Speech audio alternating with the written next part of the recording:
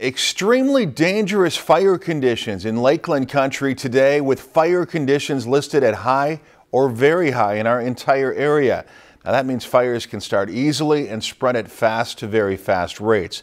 Like this one did just north of Bemidji today, which forced the evacuation of some local residents.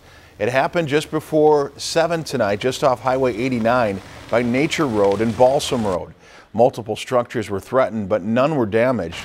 Firefighters were able to bring it under control in about 45 minutes, but as you can see, it damaged about six acres. It apparently started when one of the residents' kids tried to start a campfire.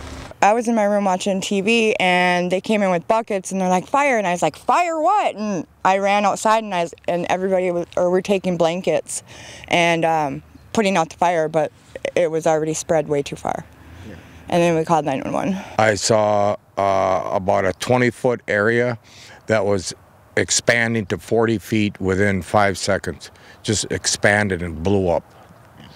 The fire just took off. Yeah. Because of the wind. Somebody's propane tank was starting on fire. I ran over to the neighbors, got her evacuated out of there, and got her car moved and everything. And um, she got out and safely, and I had everybody move. So. What I saw after that is about eight people with blankets, throwing them down on top of the flames, trying to put them out as fast as they could.